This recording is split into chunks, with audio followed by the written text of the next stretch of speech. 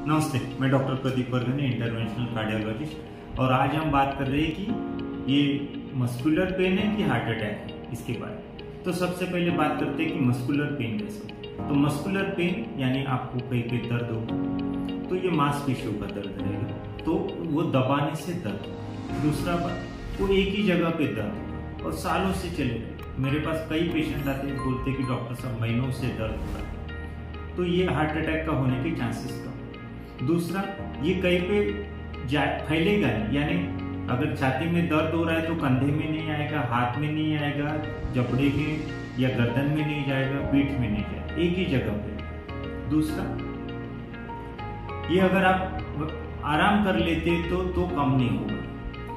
आप कोई भी फ़िज़िकल एक्टिविटी करते हो, यानी कोई कसरत कर लेते हो या कुछ काम कर लेते हो तो बढ़ेगा नहीं। जितना है, उतना रहेगा।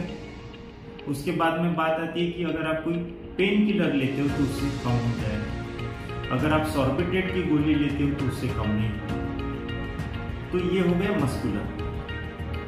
अभी जो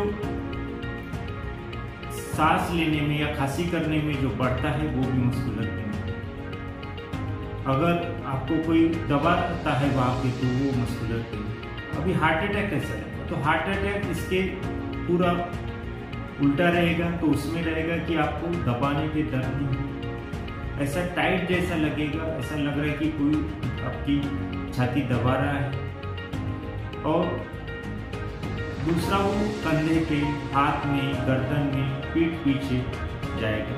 गले में गला दबाने जैसा चोकिंग सेंसेशन साथ में बाकी रोग लक्षण आएँगे, जैसे सांस फूलेगी, पसीना आएगी, घबराहट आएगा, उल्टी हो सकता है, चक्कर आ सकता है।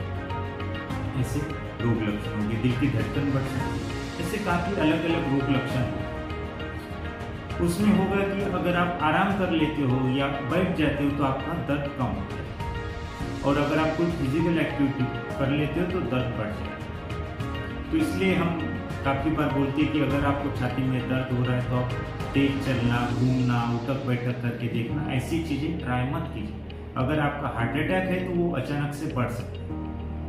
तो उसके बाद में बात आती है कि सॉर्बिट्रेट अगर आप जबान के नीचे रखते हैं तो वो कम हो जाए या कोई नाइट्रेट ग्रुप का ड्रग आप लेते हैं तो उससे भी वो कम हो सकता है। अभी जो छाती में दर्द रहेगा, वो हार्ट अटैक मोस्टली होगा, नहीं होगा, ये आप कैसे पहचाने? तो उसके लिए सबसे ये है कि आप आराम करके देखिए सॉर्बिट्रेट लेके देखिए। अगर इससे भी आपका कंफ्यूजन हो रहा है और सच में छाती में दर्द हो ही रहा है तो आप डॉक्टर वहाँ पे आप वो ईसीजी करा लेंगे आपका ब्लड प्रेशर और बाकी चीज़ें देख लेंगे।